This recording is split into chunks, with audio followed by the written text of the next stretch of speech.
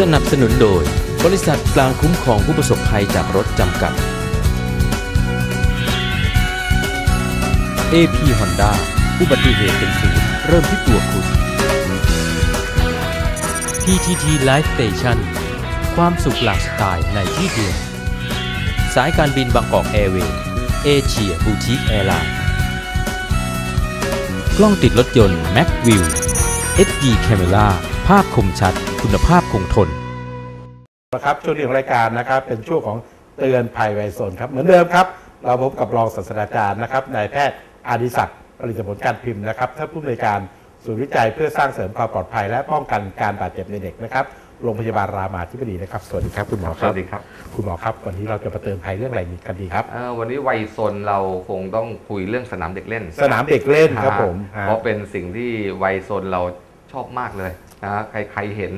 เด็กคนไหนเห็นสนามเด็กเล่นโอ้โหนี่ไม่ได้เลย นอกจากเมื่อก่อนรู้สนามเด็กเล่นนะคุณหมอนะมีในโรงเรียนนะฮะครับ เดี๋ยวนี้ตามอบตอะไรต่างๆเนี่ยก็ยังมีสนามเด็กเล่นใช่จัดให้เด็กด้วยใช่ตามชุมชนเลยพวกนี้นะครับครับครับผม ซึ่งเป็นสิ่งที่ดีนะครับ เด็กนี่ควรจะได้รับการส่งเสริมนะให้มีพื้นที่เล่นนะฮะครับ ที่เอ่อที่สามารถกระตุ้นพัฒนาการของเขา แล้วก็ต้องมีความปลอดภัยด้วย ครับ เผอิญสนามเด็กเล่นเนี่ยเป็น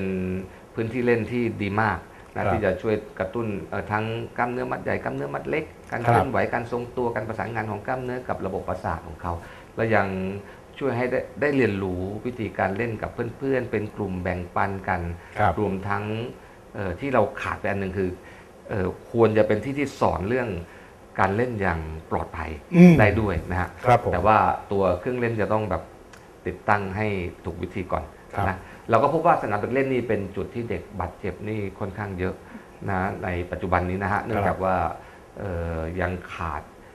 ความรู้ความเข้าใจในการครับติดตั้งเครื่องเล่นสนามเด็กเล่นอย่างถูกวิธี ครับผม อันที่หนึ่งเลยที่เป็นสาเหตุการเสียชีวิตของสนามเด็กเล่นเลยครับนะก็คือการล้มทับของเครื่องเล่นครับเองนะเราจะเห็นว่าเอ่อเครื่องเล่นนี่ส่วนใหญ่ออกแบบมาเพื่อให้เด็ก ได้ใช้กำลังของเขาอย่างเต็มที่อะครับเด็กสองขวบขึ้นไปเนี่ย เรารู้ว่าเป็นเด็กวัยเขาเรียกวัยบ้าพลังอืมนะวัยบ้าชอบทดสอบกำลังสนใช่ชอบทดสอบพลังของเขาครับว่ามีมากน้อยแค่ไหนครับเวลาเขาเล่นม้าหมุนเนี่ยเขาก็จะหมุนให้มันแบบเร็วเลยสุดๆอ่าครับ เวลาชิงช้าก็เอาอีกเอาอีกแรงเอาขสูองสูแรงงสูงครับใช่ไหมคครัรับบเวลาเล่นสไลเดอร์ก็ขอแบบปีนขึ้นไปครัข้างบบนสุดแล้วก็ไหลลงมาครับไหลลงมาไม่พอ ขอปีนสวนทางขึ้นไปอ่าอีกอันสวนนี้ทางไหลอีก ใช่นี่เป็นพฤติกรรมปกติของเด็กเด็กเลยครับนะดังนั้นการออกแบบเครื่องเล่นเอ่อที่มีความตั้งใจให้เขาใช้พลังงานของเขาเต็มที่ในการเล่นเนี่ย จึงเป็นไปไม่ได้ที่ออกแบบแล้วบอกว่าเออพ่อแม่ต้องเฝ้าดูนะคุณครูอืมต้องเฝ้าดูนะ แล้วต้องให้เขาเล่นเบาครับเล่นน้อยๆอันนี้เป็นไปไม่ได้เป็นไปไม่ได้ ไอ้เฝ้าดูนี่ต้องเฝ้าดูอาหารมันผิดธรรมชาติเด็กใช่ แต่ครับว่า เครื่องเล่นต้องออกแบบมากะว่าเขาใช้กำลังสูงสุด แล้วไม่เป็นอันตรายก่อนนะอันที่หนึ่งการล้มทับนี่เออเราเห็นว่าเครื่องเล่นที่ล้มทับได้ต้องเป็นเครื่องเล่นที่ไม่ได้ฝังฐานราก ทั้งหมดเลยอืมไม่ได้ยึดติดฐานรากเลยคือ อยู่ตรงนี้สามารถยกไปวางตรงนู้นเลื่อนได้อะไรได้ หลักการที่ต้องยึดตรึงต้องยึดแน่นเลยใช่ไหมครับคุณหมอฮะครับเพราะเครื่องเล่นมันหนัก 2 3 0 0กิโลแล้วเด็กครับต้องเล่นแบบเต็มกำลังโอ้โหเด็กน้ำหนักฮะ10กิโลกว่าๆเองนะครับคุณหมใช่อ เพราะฉะนั้นเราจะเห็นเครื่องเล่นปีนป่ายที่เด็กปีนไป แล้วก็ล้มทับนะเราจะเห็นเครื่องเล่นชิงช้าที่พอไกวสุดแรงตรงที่ไกวสองคนไปกันคนละทิศแล้วคนหนึ่งกระโดดออกไปก่อนครันะบไอ้คนอีกไปอีกทิศหนึ่งก็ล้มไปพร้อมกับเครื่องเล่นแล้วคานก็ตีที่บริเวณศีรษะของเด็กอืมเป็นต้นนะในต่างประเทศถ้าเราได้มีโอกาสไปประเทศพัฒนาทั้งหลาย ทุกมุมถนนมีเครื่องเล่นหมดเลยครับนะคุณหมอเพื่อให้ครับเด็กได้มีโอกาสเล่น ยึดติดฐานรากทั้งหมดเลยครับนะฮะนั่นก็เป็นเรื่องที่หนึ่งครับเรื่องที่สองของวัยซนเราก็คือการตกที่สูง ลงมาศีรษะกระแทกพื้น แล้วก็เลือดออกในสมองครับนะเพราะฉะนั้นเอ่อการป้องกันการตกอันที่หนึ่งตั้งแต่พวกรั้วนะฮะเอ่อ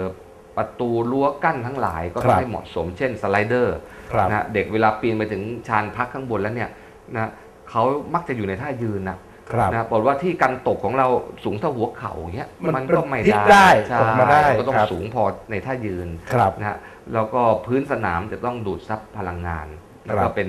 พื้นทรายที่มีความหนาอ่าสักสามสิบเซนครับเป็นพื้นยางสังเคราะห์ที่ครับถูกเอ่อวัดว่าเหมาะสมสำหรับความสูงสูงสุดของเครื่องเล่นในสนามนั้นนะปูนซีเมนต์กับอิฐนี่ไม่ควรใช่ไหมคุณหมอครับครับครับนอันนี้ก็เป็นสาเหตุใหญ่ๆนะฮะของการเสียชีวิตอื่น ๆ ก็เอ่อเป็นการตกลงมาแขนขาหักครับนะฮะเอ่อบาดเจ็บถลอกปอกเปิกอะไรนะอันนั้นก็ต้องไปดูแลเครื่องเล่นไม่ให้มีความแหลมคมนะอืมเอ่อนอกจากการดูแลสิ่งเอ่อ แวดล้อมหรือว่าตัวเครื่องเล่นเอง ก็ก็คือผู้ดูแลก็สำคัญนะต้องมีผู้ดูแลต้องมีผู้ดูแลนะครับถ้าพ่อแม่เอ่อเป็นผู้ดูแลเองก็ต้องคอยกำกับลูกว่าการเล่นอย่างไรถึงจะครับถึงจะเหมาะสมนะฮะครับผมแต่ว่าทั้งหมดนี้คงไม่ได้ยกเว้นว่าผู้ออกแบบเครื่องเล่นและพื้นสนามครับอันนั้นเป็นประการแรกสุดสำคัญสุดที่เขาจะต้องออกแบบให้ถูกต้องก่อนไม่ครังั้บนผู้ดูแลก็จะดูแลได้ยากครับครับ และนี่นะครับคือการแนะนำนะครับ จากคุณหมออดิศักดิ์ผลิตผลการพิมพ์นะครับก็ขอบคุณคุณหมอมากมากๆเลยครับวันนี้ครับขอบคุณมากคครัรับบสวัสดีครับ แล้วเรามาพบกันช่วงต่อไปของรายการครับ ครับกลับมาช่วงนี้นะครับ เรามาพบกับท่านผู้เชี่ยวชาญด้านการ สืบสวนปฏิเหตุทางถนนนะครับ ท่านดรนักการวัยเนตรนะครับ สวัสดีครับพี่วิทย์ค่ะครับสวัสดีค่ะพี่วิทย์ครับวันนี้นะครับเราจะมาคุยเรื่องอะไรครับผมโอ้ยเราคุยเรื่องเด็กเยอะเนาะเด็กเราคุยเรื่องวัยรุ่นวัยรุ่นเยเยอะอะนะอ่าเราคุยเรื่องทั่ว ๆ ไปเยอะเนาะครับเชื่อไหมคะว่าอาตอนนี้ปีพศ 2559 นะ เรามีผู้สูงอายุเราเป็นกำลังเท่าเข้าไหร่สู่สังคมคนชรา อืมพูดจาไม่น่าไม่น่ารักผู้สูงอายุผู้สูงอายุอ่ผู้สูงอายุผู้สูงอายุนะคะครับจริง ๆ ก็หลีกเลี่ยงไม่ได้เนะพวกเราครัก็บใกล้แล้วนะคะครับพี่เอ่อครับ เราจะเห็นว่าตอนนี้นะปีนี้ปีที่แล้วนะปีที่แล้วเรามี 12 ล้านคน ครับ 12 ล้านคนนี่นับ เฉพาะคนที่ไปไหนมาไหนได้โดยครับตัวเองด้วยตัวเองนะคะ ครับไม่นับผู้ป่วยติดเตียง ผู้ป่วยที่ต้องอาศัยคนอื่นนะคะอันนี้ครับ เราไม่นับ เขาบอกว่าอีกแป๊บเดียวเอง สักประมาณไม่เกิน 5 ปีนะคะครับ เราจะขึ้นไปที่ 15 ล้าน โอ้โห อีก 10 ปีเราจะขึ้นไปที่ 25.9 ล้าน นั่นโอ้โหหมายความว่า 1 ใน 3 หรือ 1 ใน โอ้ 4 ของคนไทยจะมีผู้สูงอายุที่ยังมีสุขภาพดี ครับ มีเขาเรียกอะไรมีเงินครับมีความสามารถคิดว่านะ คิดว่าตัวเองมีความสามารถในการขับครับรถนะคะครับแล้วก็ไปไหนมาไหนเองโดยลำพังอืมนะคะณปัจจุบันดูข้อมูลนะคะเห็นกราฟที่มันกำลังชันขึ้นสองรูป อันหนึ่งในกลุ่มวัยรุ่น อันที่สองเตี้ยขึ้นมาแต่แหลมขึ้นไปครับเป็นผู้สูงอายุนะคะ อันนี้เห็นเลยว่า ลงไปทำงานกับพี่น้องประชาชน ไปนั่งคุยกับชาวบ้าน ให้ชาวบ้านเขียนแผนผังไมล์แมปหรือเขียนอะไรอย่างชาวบ้านทำได้หมดเลยครับเพราะว่าคนที่เข้ามาร่วมกับเราเป็นผู้สูงอายุที่เกษียณแล้วอืมแล้วคนพวกนี้เป็นใครคะครับเป็นข้าราชการอดีตข้าราชการอดีตข้าราชการนะคะที่เขาเรียกอะไรใช้โซเชียลมีเดียหาข้อมูลนั่นนี่โน่นนะคะแล้วก็นัดเจอกันสังสรรค์นะคะเขาบอกเลยว่า เอ่อเขาเนี่ยแข็งแรงเกษียณเร็วครับมีตังค์ครับนะคะขับรถเองได้ลูกหลานครับไม่ต้องดูแลครับอะแต่ลืมไปว่าเรามีเกือบ 7-8 ข้อนะ ที่เป็นข้อจำกัดในเรื่อคงรับสุขภาพของผู้สูงอายุใช่ไหมอืมอันดับแรกเลย ตา สายตาค่ะอันที่สอง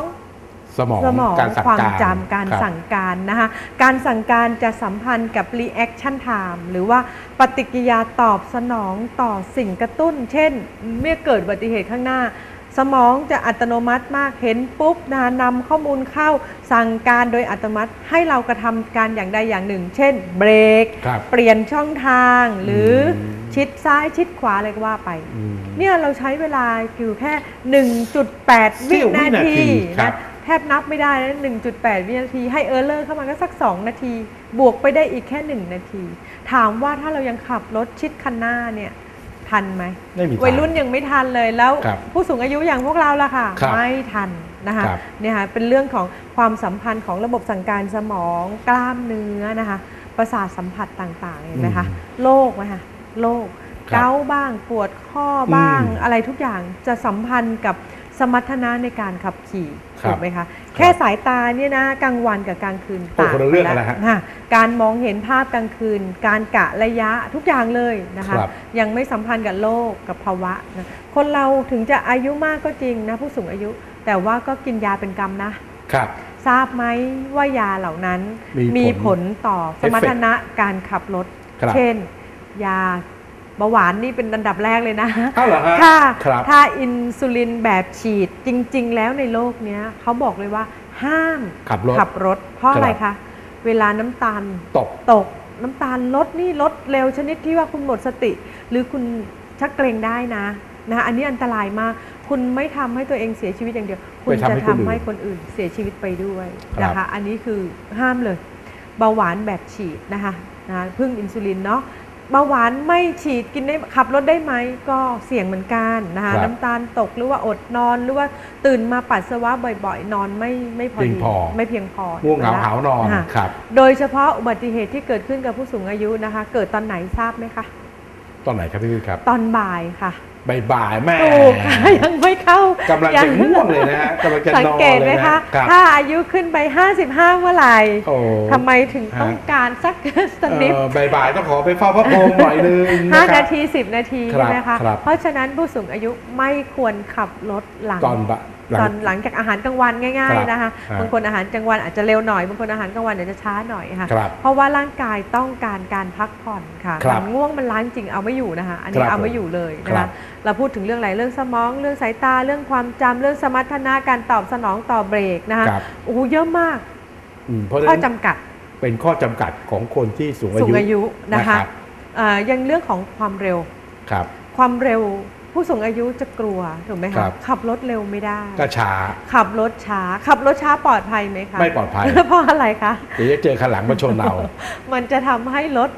คันอื่นนะคะครับกีดขวางนะคะครับรถไปกีดขวางรถคันอื่นค่ะครับคือความเร็วบนถนนที่ไม่สัมพันธ์กันก็มีครับปัญหาถูกไหมครัคะบรถช้าขับชิดซ้าย ผู้สูงอายุอยากชิดซ้ายไหมคะไม่อยากครับไม่เพราะถ้าชิดซ้ายเป็นไงคะสิบล้อเขาใช้จนพังหมดแล้วถูกไหมครัคะบก็จะมาขับเลนขวาอืมขับเลนขวาปุ๊บขับเร็วก็ไม่กล้า ขับครับเร็วก็กลัวครับผู้สูงอายุมีดีอยู่เรื่องหนึ่งเป็นเรื่องของ ความระมัดระวังครับแต่ความระมัดระวังมันใช้ในการขับรถอย่างเดียวไม่ได้มันต้องมีครับความไวในการตอบสนองต่ออมสิ่งเล้าสิ่งกระตุ้นครัต่าบงๆนะคะการจะเลี้ยวเลี้ยวรถ การจะหยุดการจะจอด การจะอะไรต้องให้สัญญาณให้เพียงพอครับเรื่องเหล่านี้ล้วนมีปัญหากับระบบสั่งการสมองในสมองของผู้สูงอายุเกือบครับทั้งหมดครับเพราะฉะนั้นนะครับท่านผู้ชมนะครับที่มี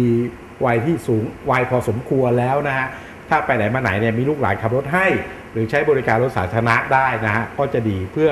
ลดการเกิดอุบัติเหตุบนท้องถนนนะครับ วันนี้ต้องขอขอบคุณท่านดรนักการวิทยาเดชมากๆเลยครับขอบคุณยี่มากครับ